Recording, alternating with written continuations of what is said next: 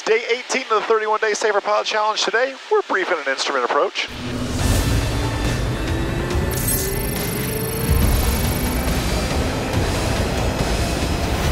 Welcome to the Safer Pilot Challenge.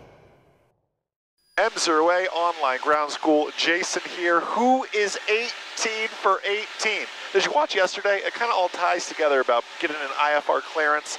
Today, we're, we're continuing our flight towards Winter Haven. We're going to be briefing an approach. We're going to be loading that approach into the Avidyne as well. I'll be showing you all of that as we work through it here together. Welcome to 6,000 feet. Welcome to day 18. I hope you're loving the Safer Pilot Challenge. If you love the free videos, imagine how good the paid videos are. MzeroATrial.com to check it out and learn more. Hey, to all our ground school members watching this, by the way, we're going to talk about briefing an approach. And the first question is, which approach? I'm still quite a ways out, um, 42 minutes out from Winter Haven. You're thinking, why are you briefing an approach so far out? Can I be honest with you? I looked at all three approaches for Winter Haven on my couch back at the house yesterday. Sitting there, Mac and I were watching a show, and I was looking at my uh, approach plates, briefing them even on the ground to become aware of them. Here we are, 42 minutes away from Winter Haven, and I'm going to show you my technique. I brief, load, and brief again. It's gonna, it sounds a little bit silly, I understand, but it's all going to make sense. Let's go to the iPad real quick together here. Let me uh, let me turn up my brightness so I can see this a little bit better here. Okay. Going into Winter Haven, look at the weather in the top left for me. Okay, it's VFR, that's great. 10 miles clear, but the winds are variable at 3. Well, which approach? Winter Haven is a pilot-controlled, uncontrolled airport. What, um, what, air, what runway am I going to use at the Winter Haven airport? Well, let's go into the U.S. chart supplement, formerly called the AFD, and let's look right here under airport remarks. It's attended these times, glider activity, Jack Brown Seaplane Base, Jason Lake, runway 5. Dude, does, every, does everybody see that there? Let me, let me, let me highlight for you. Right here, runway 5, preferred for calm or light winds. That's what we're going to end up using right there is runway 5. So I'm going to come back over to my procedures. I see I've got my runway 5 right there. I've got that, and let's go ahead and take a look at this thing, and let's work on it here together. So one of the first thing that jumps out to me is this is an LNAV approach. A non-precision approach taking me down to an MDA, not a decision altitude or decision height like you're used to. We'll talk more about that here in just a second. Let's go ahead, let's brief our approach, then let's load our approach. My approach course is a 049. I've got my runway lengths, my touchdown zone elevations. By the way, I like to annotate and highlight, showing me that I've gone over everything. Next and most importantly, yes, this is the runway 5 at Winter Haven. You go to some bigger airports, they may have multiple approaches to the same runway.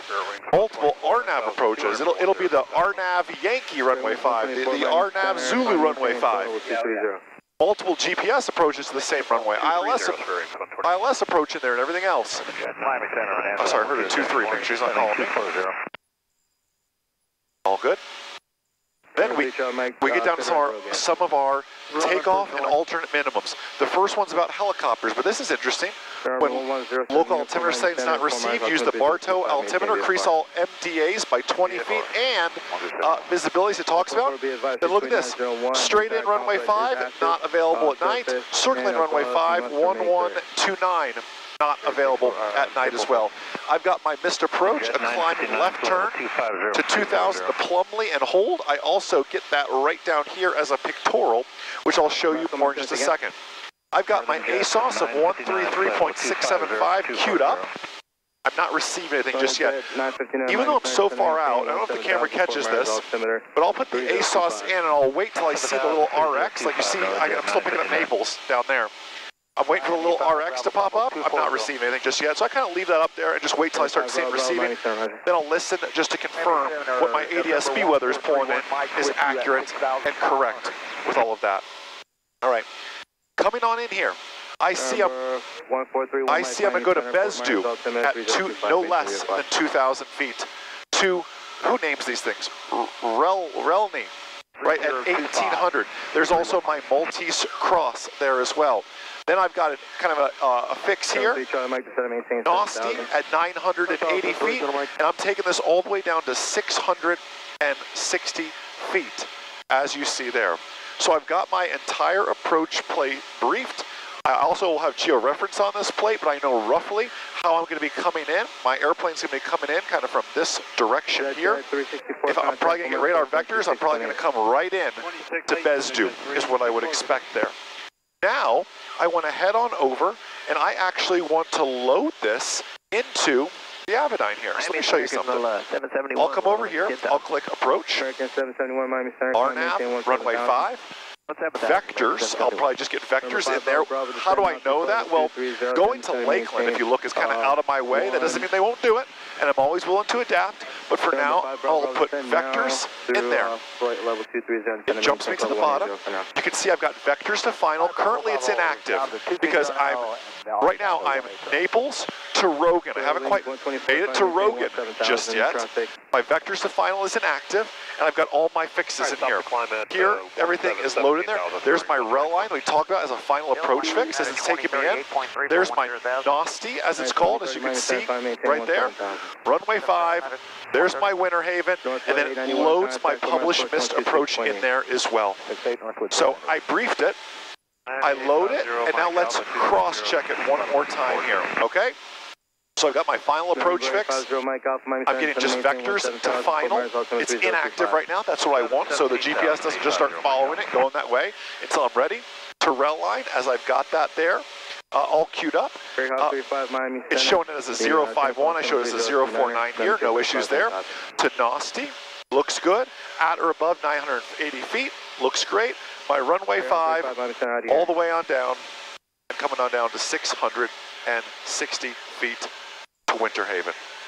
Miami Center, Meridian 846, Mike Alpha, 7,700, climbing into 10. We brief this approach Remember, back at the house. Mike Alpha, we brief it again right here using annotations and highlights. Well, maintain one we load it. Meridian we brief it again real quick just to cross-check everything. Redundant, over the top, yeah, maybe. But listen, when you are an instrument pilot, you are you are working towards precision. You're working towards mastering everything you do. And I know ATC could put, could put a kink in this. ATC could take us to Lakeland. ATC could, could change everything up. They may, I may start listening to the Unicom and realize, wait, they're using 1-1 over there. And have Remember, to... 3 Mike Zulu, cross uh, 15 miles south of Winter Haven at maintain 3,000. Cross 15 miles south of Winter Haven at maintain 3,000, thanks to the Mike Zulu. They may throw kinks in it like that. There, go, there goes my Rogan. So now I need to get down to 3,000, 15 miles before Rogan. So I got to start working on that now as well. These changes, these little little adaptations always you gotta be willing to work with them here. Like I said, I may be listening to Unicom and all of a sudden they may be using 1-1 and I'm able to flip that around. It's not a problem. Knowing your avionics, knowing how to breathe, knowing everything that you have, that's the key. Hope you're loving this videos, seeing all this real world stuff happen here. Have such a, just a blessed, abundant day. We are in the business of making 2023 your best flying year yet.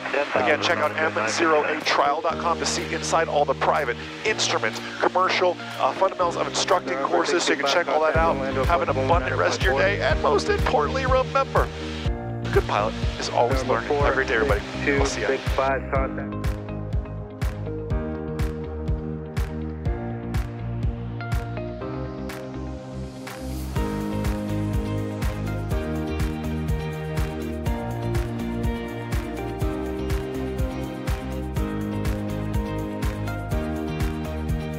One of our missions here at MzeroA is to help you make flight training more affordable. And I'm sure you felt the impact of rising prices, and we just wanted you to know that we're all in this together. We've held the same pricing for more than 10 years, which is truly unheard of. But like you, we're also feeling the effect of rising costs. So for the first time, our courses will increase in price on February 1st, 2023. However, I don't want you to pay more. So we're setting it up so you can lock in the current price by becoming a subscriber right now. Existing MzeroA members, you're gonna keep your current prices for as long as you keep that subscription and as long as that's maintained. Uh, if you're in a trial, head over now to mzeroa.com and click on the store to become a member now. And thank you so much for trusting MzeroA. We are truly so grateful for you and hope you have just a blessed, abundant, amazing day.